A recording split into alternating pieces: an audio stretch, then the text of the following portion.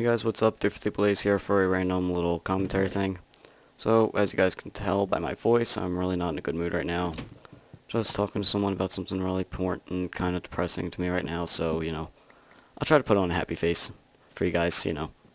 So pretty much, today is the last day that I will not, I mean, that I'll be able to upload a video for a week. Afterwards, oh yeah, Timber Mountain. But afterwards, I will be away on vacation for a whole week, so the next video will be uploaded probably August 20th, if I had to guess. So, also, I should have had Survival Archipelago up today, but just like last week, I'm having the problem where it force updates it every time I load the jar, so I cannot play it, and I'm just going to have to wait till Better Than Wolves and all the other mods, which I think all the other mods are updated, just have to wait till Better Than Wolves is updated to 1.3. So, also, um, yeah, pretty much. I will not have my laptop. I will not have my Xbox. So pretty much I'll have nothing really entertaining to use. And as a result, I will not be able to record anything while I'm gone. So instead, I'm just going to do a little commentary right now. So pretty much, you guys probably have been to a movie theater at least once in your life. And I don't know about you, but whenever I go to movie theaters, they generally charge a lot of extra money for candy and stuff that is just completely unreasonable. But they don't let you bring your own candy and drinks because that's just less money that they can be making. So, usually what people do is, at least around where I live, people will generally sneak candy in. Like, they'll just buy it from other places like dollar stores and stuff, and then they'll just bring the candy in through their pockets or something. So that's pretty much what I did when I went with my friend and a couple family members to see Ted.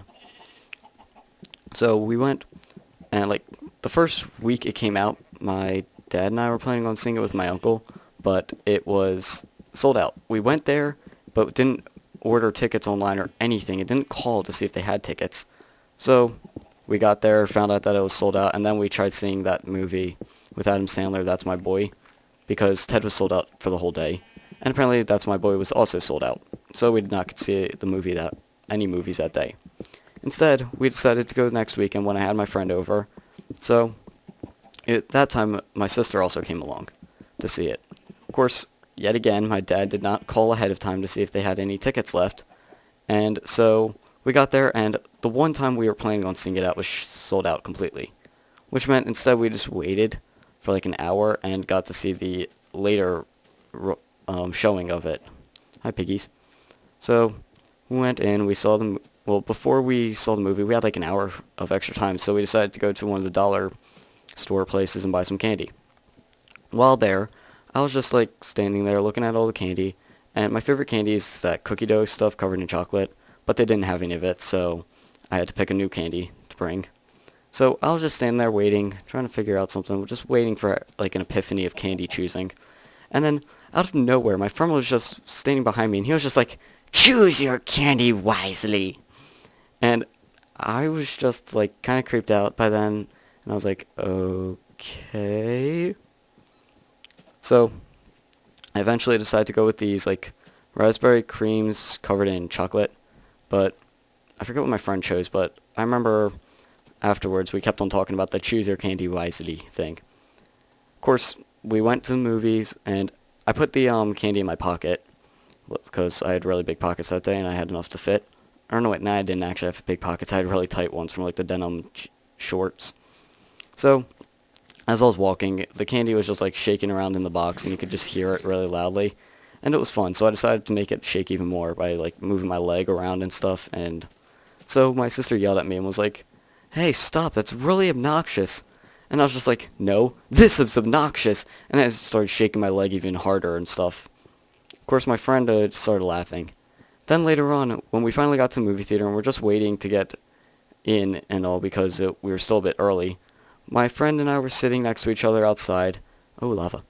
And then my sister and uncle were sitting next to each other. And they were sitting kind of farther away, and my dad was somewhere else doing something. And my friend and I were just like, hmm, I wonder why they're not sitting next to us. And I could just hear them talking about how we, like, they kept on saying, like, they don't know us and stuff, and we were like, oh, okay, yeah.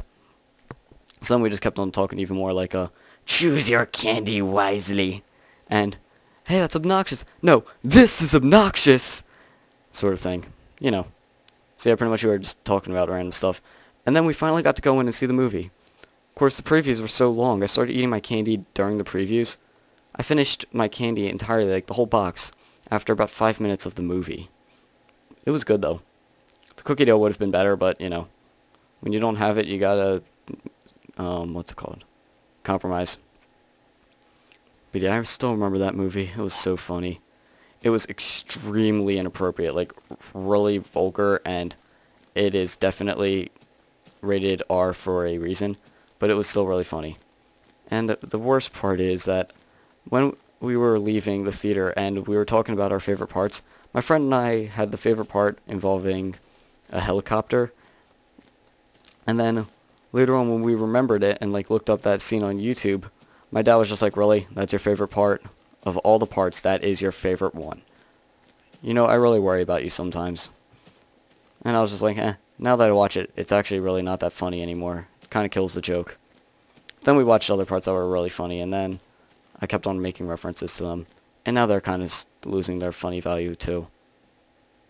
So that's pretty much it for this video thingy random commentary. To replace Survival Archipelago because the mods aren't updated, and apparently Minecraft really wants me to update the mods and stuff, even when I can't. So, thank you guys for watching. I hope you enjoyed this little video. Hi, sheepy. So, I will kill these sheep, and then, let's see now. Let me just kill them in a fun fashion.